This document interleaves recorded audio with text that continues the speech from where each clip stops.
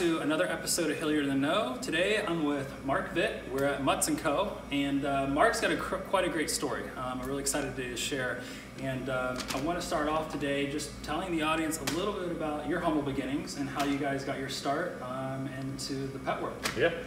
So it was about 12 years ago. Uh, we opened our first store in Dublin. We had just moved back from the San Francisco Bay Area. Uh, my wife had no desire to get back into the corporate world, so I went back and got a corporate job working at JP Morgan Chase while she started this business using her retail experience. And we saw it flourish. Uh, you know, after about four years, we, we opened up a second one um, in New Albany, and that worked out. We, that became about 2016. I quit my job at Chase and started working here full time, and uh, we opened up three more stores that year, and now we've got six stores in total around the central Ohio area. That's quite a lot of growth. So you have six stores, uh, you're 13 years in business. That's right. Um, so, talking about Hilliard, what made you choose Hilliard um, as a location? Yeah, I mean, we we looked at all the different places that were succeeding for us, and we liked the idea of a local community that works, that kind of supports their local businesses. Um, there's a lot of growth in that area. Um, I grew up in Columbus, and, and certainly 35, 40 years ago, it wasn't what it is today. Right. But there's a lot of commerce there. There's a lot of people that are moving there, um, and we our business is very much centered around people who live in that community as opposed to transient folks or people who are working in the area. So Sure. we love the we love being in Hilliard. Yeah, and there's a lot of pets in Hilliard. So, There's, there's certainly there's a lot of that, um, and they, they bring them into our stores, whether it's for grooming or just to pick up a treat and all those things. So it's great. We get to meet a lot of great people. Cool. Because right now, um, as we're watching this, I mean, we're under this quarantine. Um, we've got to keep our social distancing. And I know business, uh, we were talking a little bit earlier, hasn't been business as normal. And I think we've, we've um, unfortunately, a lot of people in the community are feeling that. What sacrifices have you had to make as a business owner since the quarantine? Yeah, a lot. But we were deemed essential because we offer pet supplies like food, but we reduced our hours from down because we just knew there would be fewer people shopping. We closed our grooming and dog wash facilities completely because those are non essential. And then we've just generally had to um, reduce back down kind of the amount of payroll that we have, the people that we're employing. We're still keeping the doors open and trying to um, help all of our employees as much as we can, but all of the expenses are being scrutinized at this kind of downturn, Sure. depressed economic time. Yeah, and I think um, a lot of small business owners, you've got to make a pivot. Um, and I know that you're actively trying to pivot in your business. And um, it's, you know, so is there any ways that, you know, you've had to change? I mean, do you have an online presence where people can go and buy things from? Sure. Um, even before the this circumstance came to be, um, we had a curbside pickup, Mhm. so people can place an order online. And at this point in time, we've even made it so easy that they can just even call us, and we'll find the items off the shelf um, and take a payment over the phone. But we offer the curbside pickup so that they can come and uh, place an order, and then uh, we'll bring it out to them. Uh, and just about just this week, we'll start offering a delivery service as well. Oh, so, wow. uh, we've kind of had that in the works, and this expedited that process. Who does the delivery? Our employees will do Okay, that. So cool. we'll, we'll staff accordingly to keep the stores running while somebody's out, you know, bringing goods to a local pet owner.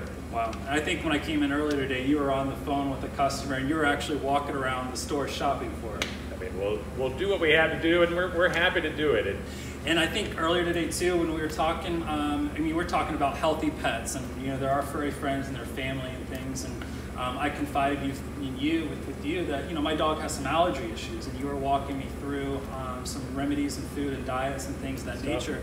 Talk a little bit about the consulting that you do and some of the health food options you have in the store because you have such a great variety of you know food. Yeah, and you know, and I give a lot of credit to my wife Deborah, who, who she picks all the things that are here. Um, she chooses all the inventory and and um, essentially merchandises everything, and then I come in and kind of help with the personnel and the marketing and such. But we do. We, we pride ourselves on being very educated and aware in regards to overall pet nutrition and the things that are critical for any dog or cat's well-being. Um, and nutrition is a big part of that. We strive to carry what we consider to be the healthiest food options. Uh, a lot of different choices, whether it's regular old kibble or freeze dried and raw and all the other different things. And, and every dog is different and their physiology is different and their needs are different, allergies and otherwise, age and activity levels and breed and size. All these things are factors that we take into account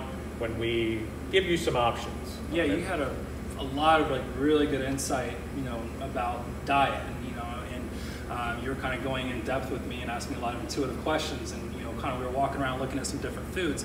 Um, what are so you do have some unique foods in the store? Can you share with the audience Yeah. some of the things you sell? Oh, I mean, it's you know, I think the one that, that probably that throws everybody off the most is like kangaroo. Uh, they're so adorable, and, and that and, and we have to get past the, the fact of you know what what what the animal or the supply is. Um, it is a very novelty protein that certain dogs or cats um, need to eat because they're they've grown an intolerance to other more traditional proteins like a chicken or an otherwise. Now we just got we just carried started carrying um, treats made out of crickets. Crickets. High protein, easily very eco-sustainable. Is that for dogs or for cats or both? mostly for dogs at this point, as, I, as far as I know. And I saw you even had some like duck heads. Yeah. Yeah. Um, we're going to switch gears here a little bit because uh, I think a lot of people are spending more time at home now. So uh, we're doing things that we don't typically get the time to do. Um, so a lot of people are hanging out on Netflix. Do you find yourself uh, finding, watching a lot of Netflix? Is there something else that you do at home? I don't. Uh, I'm, not, usually a binge watcher. I usually kind of catch up on sports, but that's not readily available right, Right. now. So I did. I did. Uh, I watched the Tiger King thing, Oh, which has taken over, and I watched uh, the third season of Ozark, which I would highly recommend Ozark's as well. really good. That's a brilliant It's show. really brilliant show. Yeah. And you did say you watched Tiger King, so I know the audience is curious. Um, I want to get your opinion. Did Carol Baskins kill her husband? I think so. Yeah. I think so. She uh, she started out as kind of in the first episodes as kind of a sympathetic character, and then just got crazier and crazier over time, and then that whole story came out. I'm Yeah. I'm not I'm not the police or, or the law enforcement, but gracious, it sure seems that way. And what is what is the most unique pet you think someone has brought into your store before?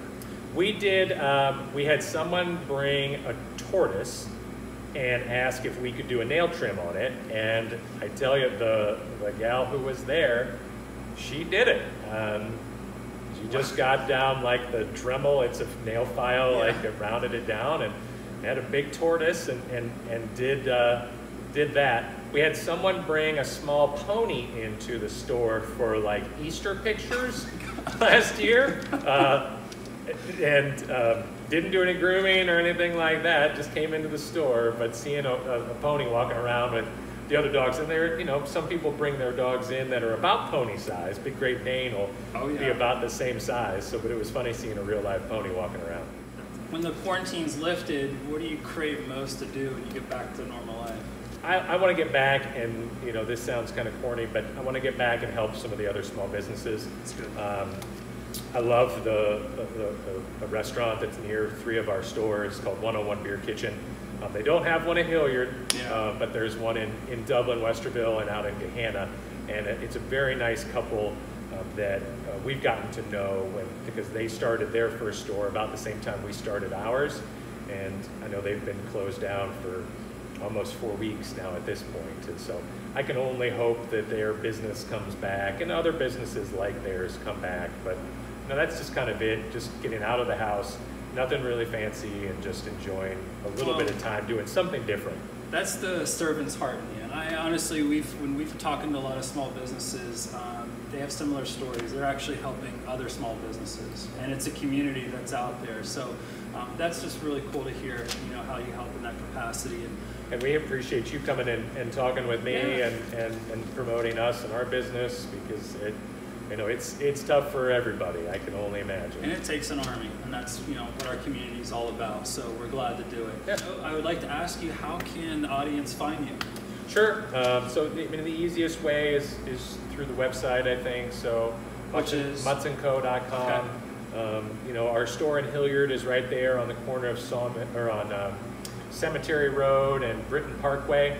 So it's in the outlot in front of the Giant Eagle, uh, right in between the Rusty Bucket and Dickies, who are two other small businesses And we'll that post a are link kind of struggling too. Yeah, okay. Uh, but that's it. We love, we certainly welcome people to come in and, and check us out now or down the road when they feel more comfortable, and, and we'll bring it out to you, or come come and bring a dog into the store and walk around. Cool. Well, guys, um, this was a really cool episode. I'm really glad you got to meet Mark. And um, if you know, let's let's show Mark some, some support. So what I'd like to do is, um, you know, if, he does curbside pickup. So and he's going to be doing delivery. So give Mark a ring. Um, we'll provide their contact information, and uh, we really appreciate all your support. And Mark, thank you Yeah. for taking the Thanks, time Albert. with us today. Thank you.